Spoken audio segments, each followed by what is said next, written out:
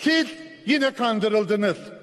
Amerika eş başkanlık konusunda sizi kandırdı. Güvenlik bölge konusunda sizi kandırdı. Ülkemizi küçük düşürüyorsunuz. Siz birlikte çözüm aradığınız ABD lideri dün bilgisayarın başında tüm nez, tüm dünya nezdinde Türkiye'ye benim eşsiz ve yüce bilgeliğimle çizdiğim sınırları aşmayacaksınız diye size ultimaton verdi. Aşarsan ekonomik olarak yok ederim seni dedi.